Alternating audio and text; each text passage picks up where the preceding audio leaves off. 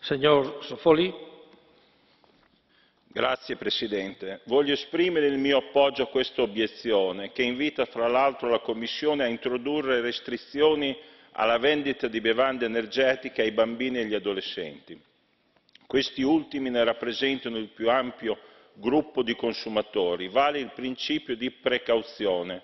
Non c'è un livello sicuro per il consumo di caffeina che determina, come ricordato, disturbi del sonno e problemi comportamentali nei bambini e negli adolescenti, nel caso di un uso regolare prolungato se non di abuso, oltre all'elevato rischio obesità per l'alta concentrazione di zuccheri nelle bevande energetiche. Dunque è giusto opporsi all'adozione di questo progetto di regolamento della Commissione che non serve e che nello specifico introduce quattro nuove indicazioni sulla caffeina, fra cui testuale la caffeina contribuisce ad aumentare la lucidità mentale e aiuta a migliorare la concentrazione. Si tratta di un messaggio potenzialmente pericoloso per i ragazzi.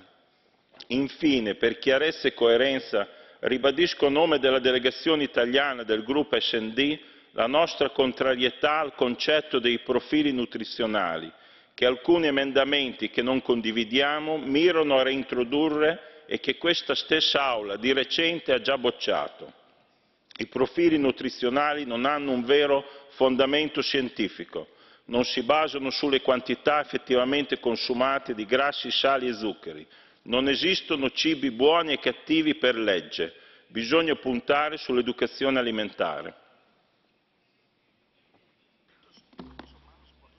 gracias. Catch the eye. Tiene la palabra el señor Marías.